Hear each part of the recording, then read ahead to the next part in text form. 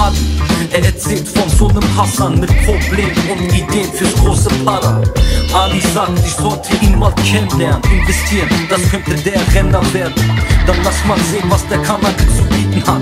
Wir treffen Hassan, na abgefuckt, Shisha-Bar. Salam Hassan erzählt vom Geschäft, ich soll 100 bringen, das bringt 70 Gewinn. Er schiebt Benz und Phantoms nach West-Libanon, kassiert und schickt mir per Western Union, hört sich gut an. Und Ali bürgt für den Typen, das reicht, wenn ich weiß, Ali würde ihn töten. Hassan sagt, warum er schnell Geld braucht. Sein Bruder hat wohl ein Kilo Change weggeraucht, nicht bezahlt. Und jemand natürlich sauer.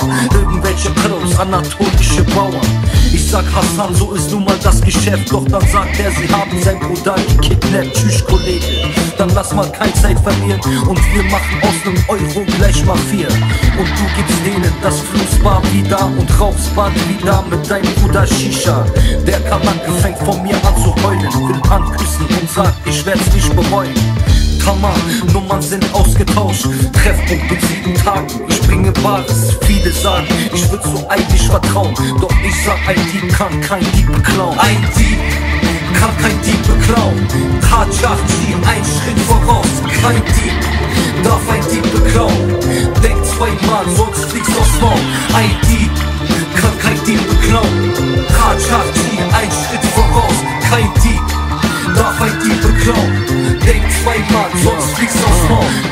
Freitag, Hassan braucht heute das Para. Sein Partner ist da mit den geklauten Karren. Zwei Cayennes, ein X5, zwei Siebeners, alle mit Schüssen und miese Benziners. Ich sag 5 für 100 ist ein schlechter Preis. Sein Partner sagt, es ist eine schwere Zeit. Scheiß drauf, keine Zeit für Politik, solange ich die vereinbarte Summe krieg. Hassan sagt, er sei so ein seriöser Mensch, braucht das Lösegeld, bevor sein Bruder getötet wird. Kein Problem, wir kriegen das hin. Ein Mann, ein Wort, wie der Typ aus Wedding. Jetzt zählt das Geld. Ich mach einen Haufen 500er auf Tisch, wie ein Mercedes-Werk.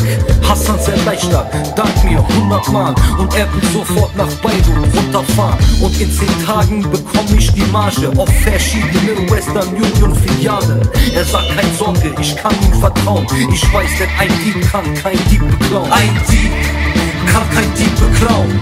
Tatsache, zieh einen Schritt voraus. Kein Dieb darf ein Dieb beklauen. Denk zweimal, sonst fliegst du aufs Maul. Ein Dieb kann kein Dieb beklauen. Tatsache, zieh einen Schritt voraus. Kein Dieb darf ein Dieb beklauen. Denk zweimal, sonst fliegst du aufs Maul. Hassan ist jetzt 10 Tage in West-Libanon. Heute ist der Tag meiner Geldlieferung. Mein Scirocco klingelt und Hassan sagt, Erlen, Kratan, jetzt hast du ein Problem. Er sagt, nicht persönlich nehmen. Er will erst die Kurden zahlen und den Rest für sich persönlich nehmen. Ich sag Hallo, hallo, ich höre nix. Ich ruf gleich zurück, hier ist gestörtes Netz. Dieser Babista denkt echt, er kann mich abziehen. Ich zeig ihm gleich wie Tabik-Dick, Versicherungen sich so lohnen. Denn die Straße wehrt für uns ein. Ass im muss sein, wie in nem Ansonshemd. Ich fahr zu Hamzas Café am Hansaring, geh in den Keller und wähle Hassan sein Nummer. Du Babista, sag Salam zu deinem Bruder. Hassan Abi. Ein Dieb kann kein Dieb beklauen. Tatsache, zieh einen Schritt voraus. Kein Dieb darf ein Dieb beklauen.